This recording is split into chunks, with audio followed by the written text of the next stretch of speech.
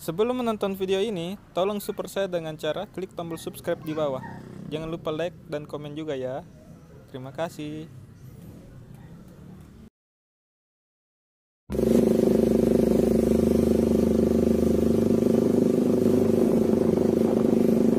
Halo, kali ini saya akan mereview eh, banyak kemarin yang bertanya bagaimana caranya eh, apa pasang velg RCB SP522 ke Sonic 150R Eh, apa apa apa aja yang harus diganti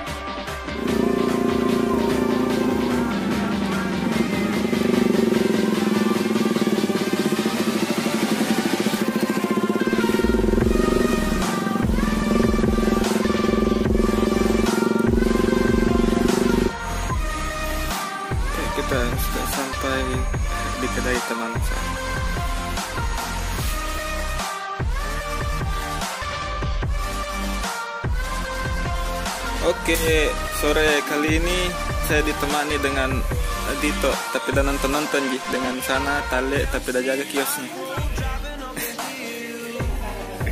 Eh, langsung saja eh, untuk bagian depan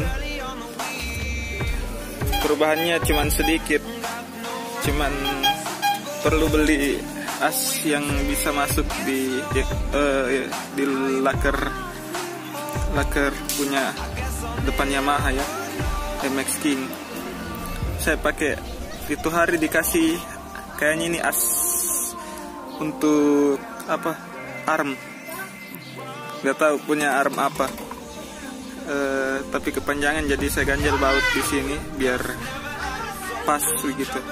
Untuk bos di bagian kanan saya pakai bos Yamaha Mio dengan karetnya. Dan untuk bagian kiri cuman pakai ring dengan eh, bos bos apa lahar itu tengah lahar yang sudah dikasih pecah. Piringan depan menggunakan piringan 300 mm Eh, saya pakai merek PAD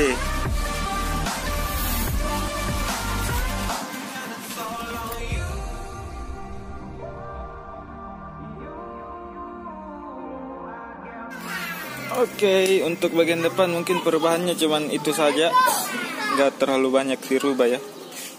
Eh, bagian belakang banyak yang dirubah. Untuk bagian belakang paling utama itu harus beli gear punya Yamaha MX Jupiter atau Jupiter Z. Nav gearnya saya pakai eh, punya eh, MX 135 yang new. Jangan pakai yang lama atau MX King karena susah cari gearnya nanti. Eh, terus apa lagi ya?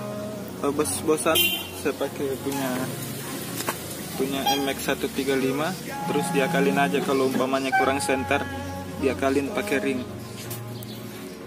Eh, apalagi untuk tengahnya itu bos-bosan tengahnya karena lakernya saya tidak dapat yang pas untuk as ini.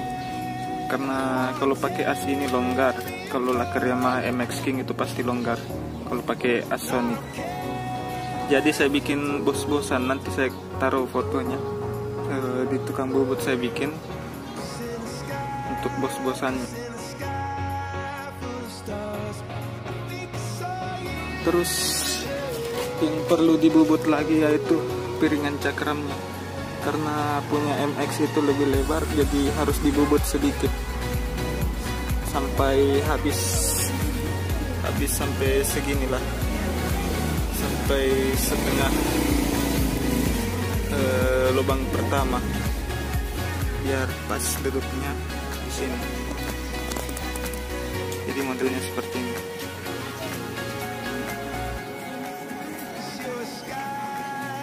di tengah sini ada bos juga. Bos saya pakai bos lama punya Sonic.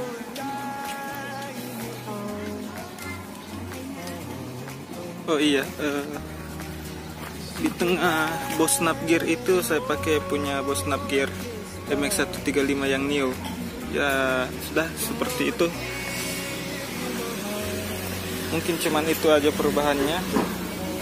Tapi kalau dapat lahar yang pas untuk lahar atau laker yang pas untuk roda belakang lebih baik langsung ganti lakernya aja tidak usah buat bos-bosan. Saya buat bos-bosan karena nggak dapat lakernya di sini. Oh iya banyak yang tanya juga kenapa tidak pakai palang palang 6 aja yang punya langsung Sonic yang langsung PNP uh, jawabannya karena saya nggak suka modelnya karena palang 6 terus kalau pakai palang 6 punya Sonic gak bisa pakai uh, disc floating disc depan floating. Nanti mungkin disc depan ini kan belum floating nanti ganti yang floating.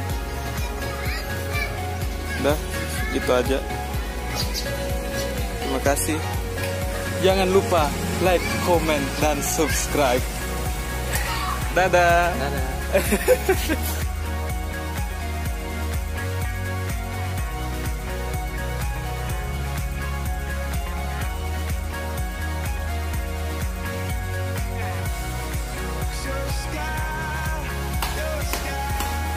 Oh ya teman-teman jangan lupa untuk yang daerah Kendari datang ke kedai teman saya ya.